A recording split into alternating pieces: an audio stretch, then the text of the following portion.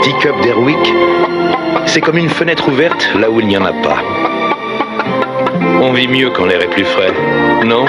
Nouveau stick-up d'Erwick. Un peu d'Erwick, c'est beaucoup d'air.